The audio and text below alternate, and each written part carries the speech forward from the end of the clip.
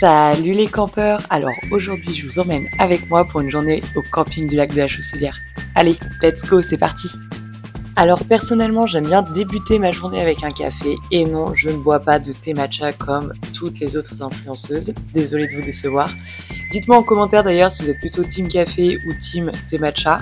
Moi personnellement je trouve que le café ça met vraiment d'aplomb pour la journée. Donc ensuite direction le cours d'aquagym du camping pour rester en forme même pendant les vacances.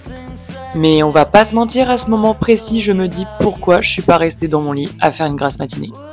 Donc après l'effort, le réconfort avec les cup sandwich du camping.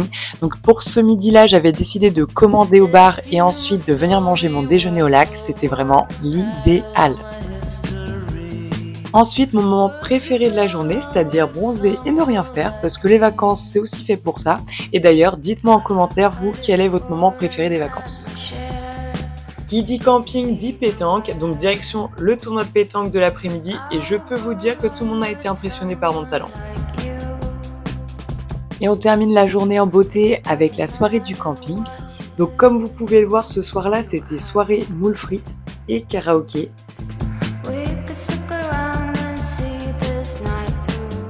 Et je peux vous dire qu'on a dansé et chanté toute la soirée. Donc après une journée comme celle-ci, il était temps d'aller dormir et je peux vous dire que j'ai passé une super nuit.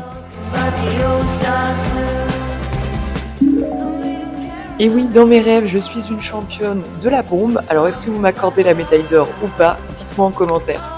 Et si vous voulez passer les mêmes vacances de rêve que moi, contactez dès maintenant le camping et moi je vous dis à bientôt pour un nouveau vlog. Salut les campeurs